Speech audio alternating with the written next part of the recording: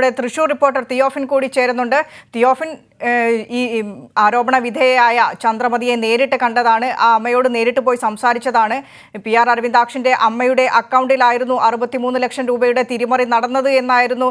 പ്രതിപക്ഷമാകെ അട അടങ്ങുന്ന ഒരു സംഘം കരുവന്നൂർ ബാങ്കിനെതിരെ ഇത്തരത്തിലൊരു ആരോപണം കെട്ടിപ്പൊക്കിക്കൊണ്ടുവന്ന സംഘം ഉന്നയിച്ചിരുന്നത് പി ആർ അരവിന്ദാക്ഷനെതിരെ ഏറ്റവും കൂടുതൽ ഉയർന്നു വന്ന ആരോപണവും ഇതുതന്നെയായിരുന്നു അമ്മയുടെ പേരിൽ ലക്ഷങ്ങളുടെ വെട്ടിപ്പ് നടത്തിയെന്ന്. അത് പൊളിയുന്ന തരത്തിലുള്ള ഒരു വാർത്തയാണ് ഇപ്പോൾ പുറത്തു വരുന്നത്. പി എം എൽ കോടതിയിൽ നിന്നും കൊച്ചിയിൽ കോടതിയിൽ നിന്നും ഇത്തരം ആരോപണത്തിൽ അതായത് കരുവണ്ണൂർ ബാങ്കുമായി ബന്ധപ്പെട്ട് അരവിന്ദാക്ഷന്റെ അമ്മയുടെ അക്കൗണ്ടിൽ നിന്ന് ക്രയവിക്രയം നടത്തിയിട്ടില്ല എന്ന് തുറന്ന് സമ്മതിച്ചിരിക്കുന്നു. ഇ ഡി മറ്റു വിശദാംശങ്ങൾ തിയോഫിന് ലഭ്യമാകുന്നത് എന്താണ് തീർച്ചയായും നിഷ നമ്മളിത് ഈ- വാർത്ത നമ്മൾ നേരിട്ട് അരവിന്ദാക്ഷന്റെ വീട്ടിൽ പോയി ആ അമ്മയെ കണ്ട് വിവരങ്ങൾ ആരാഞ്ഞ ശേഷം നമ്മൾ കൊടുത്തതാണ്. കാരണം ആദ്യം ഇ ഡി കൊടുത്ത റിപ്പോർട്ടിനകത്ത് ഒരു അക്കൗണ്ട് നമ്പർ വ്യക്തമാക്കിയിരുന്നില്ല. ഇ ഡി തീർച്ചയായും അരവിന്ദാക്ഷനെ കൊടുക്കാൻ വേണ്ടി തന്നെ ലക്ഷ്യമിട്ട് ചെയ്തതാണ് എന്നാണ് നമുക്കത് വ്യക്തമായത്. തന്നെയുമല്ല ഇതേ ഒരു പേര് അതായത് ഇ ഡിക്ക് ഇത്തരത്തിലൊരു വാർത്ത കെട്ടിച്ചമയ്ക്കാൻ ഇതേ പേരുള്ള വ്യക്തിയെ കിട്ടി എന്നുള്ളതാണ് ഏറ്റവും വലിയ നേട്ടമായത് ഇ ടി അതായത് ഇങ്ങനെ ഒരു വാർത്ത കെട്ടിച്ചമയ്ക്കാനായി. മറ്റൊരു ഇതേ സ്ഥലത്ത് ഇതേ പ്രദേശത്ത് ഇവരുടെ വീട്ടിൽ നിന്നും അധികം അകലെ അല്ലാതെ മറ്റൊരു വാർഡിൽ താമസിക്കുന്ന ഒരു ചന്ദ്രമതി.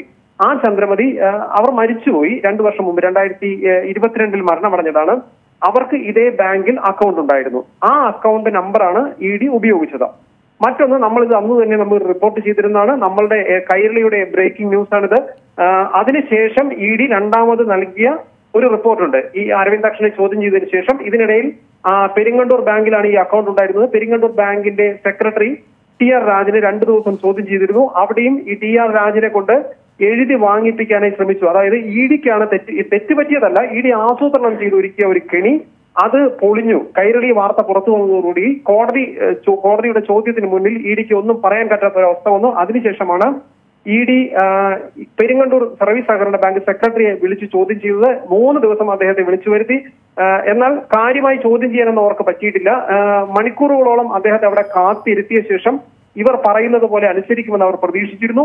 അദ്ദേഹത്തിൽ നിന്ന് എഴുതി വാങ്ങാൻ ശ്രമിച്ചു. ബാങ്കിന് പറ്റിയ തെറ്റാണെന്ന്. അതായത് ക്ലറിക്കൽ മിസ്റ്റേക്ക് ആണ് ബാങ്കിന് പറ്റിയത് എന്ന് വരിച്ചു തീർക്കാൻ അവർ ശ്രമിച്ചു. അത് അംഗീകരിക്കാൻ ഈ സെക്രട്ടറി തയ്യാറായില്ല. ഈ സംഭവത്തിന്റെ തുടക്കം എങ്ങനെയാണെന്ന് പറഞ്ഞാൽ ഇ ഡി ഒരു ദിവസം അവർ ആ കൃത്യമായി ആ റിപ്പോർട്ടിൽ ആ ഡേറ്റ് പറഞ്ഞിരുന്നതാണ്.